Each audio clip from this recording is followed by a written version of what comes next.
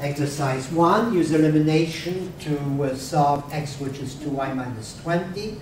3x plus y is 3. Solve by elimination 2x minus 3y is negative 22. 5x plus 6y is 53. Solve by elimination or addition 5x minus 6y is negative 6. 15x is 18y minus 12.